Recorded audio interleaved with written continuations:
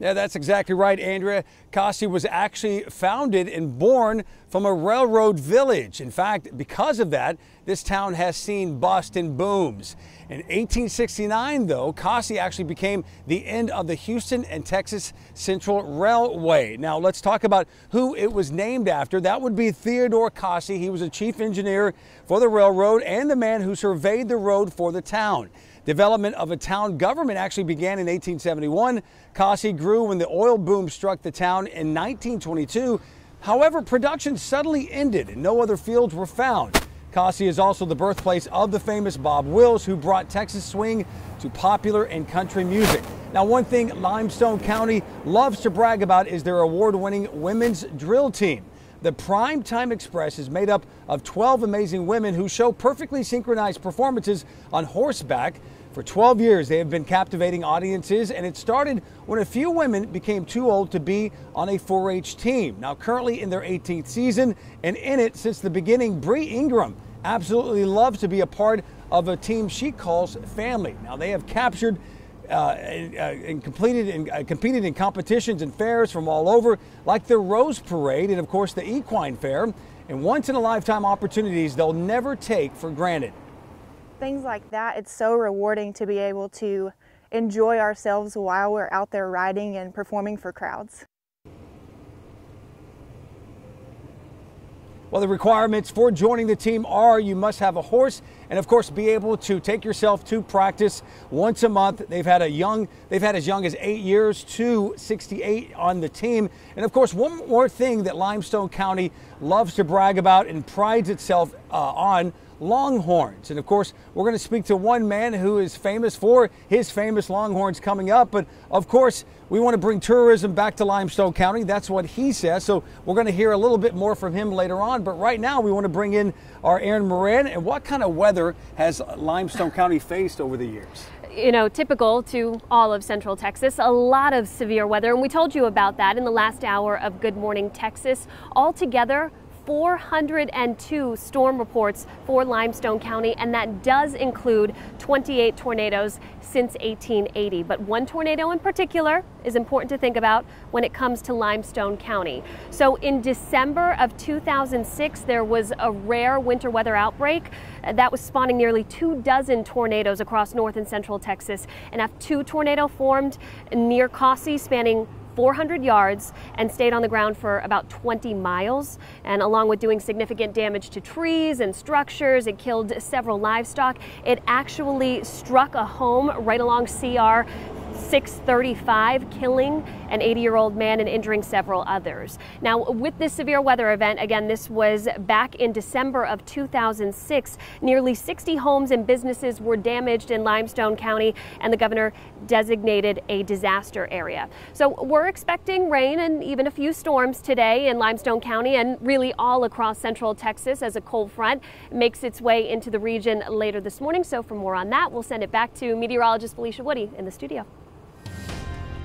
Well, thank you for that, Aaron. We are looking at sub-severe conditions, which is good. That means we're not expecting the severe weather for today, but we could be seeing a few storms. I do want to give a traffic update for those who are heading northbound on I-35. There is a little bit of a slowdown in the construction area just outside of McLane Stadium. Now, temperatures this is where it's going to be the warmest for the entire day because it's actually going to get cooler once that colder air starts ushering in. But right now we are still hanging on to the low and mid 60s across the area.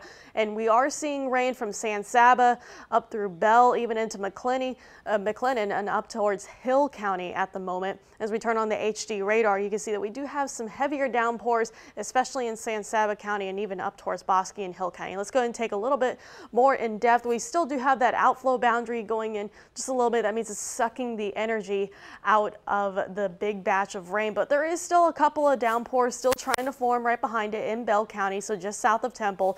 Maybe some rain there along I-35 at the moment. About to see some shower activity along I-14, so if you are headed out in Harker Heights and Killeen, get ready for some moderate downpours. We are tracking some lightning actually in southern San Saba County at the most, so just south of actual San Saba, the, San Saba, the town. And as we look up towards the north, we are looking at Bosque and Hill County, some light to moderate downpours as well, but no lightning being detected within that. So like I was saying, the temperatures are going to be dropping. We're in the 60s. We're going to go down into the 50s here within the next couple of hours. And then we're looking at temperatures falling into the 40s already by the time the sun is about to set. Now, the better chances for those showers and storms are actually going to be later on today in the afternoon and evening where we start to get a little bit more of the development of those showers and storms. And also that wind is expected to be kicking up as well. In terms of how much rain we could be seeing, it looks like by the time this is all said and done by tomorrow, about a half inch to an inch of rain, maybe a little bit more in certain spots. But it lo looks like we should be drying out for this upcoming weekend, but then we're tracking another cold front with some rain for Monday. The acting U.S. ambassador to Ukraine will be the first to testify publicly in the impeachment inquiry, telling millions of people what he told investigators. The president withheld hundreds of millions of dollars in military aid to the U.S. ally. His transcript released Wednesday revealed he grew so concerned over the issue he sent a rare cable to Secretary of State Mike Pompeo, but received no response.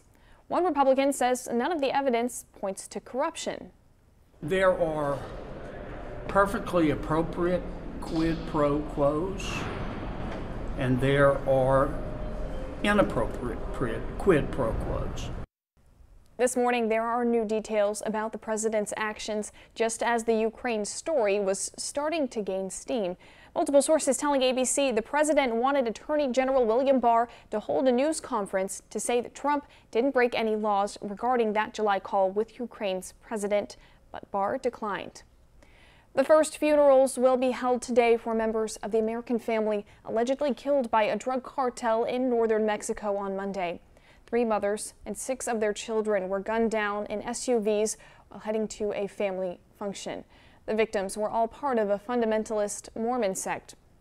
This morning, two former Twitter employees are accused of spying for Saudi Arabia.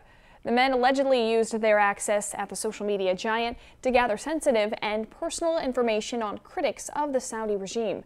One of the men, a U.S. citizen, is already under arrest. He was allegedly paid $300,000 by a person identified only as Foreign Official 1 to gain users' private information. Now, according to prosecutors, the Saudi government recruited the men because the Saudi royal family grew frustrated by growing criticism of its leaders on social media. And more than a dozen business leaders in Killeen are making a trip out to Fort Hood this morning to better get to know our men and women in uniform.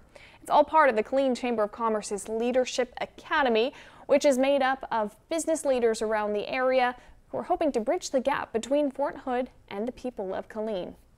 I actually rent to a lot of military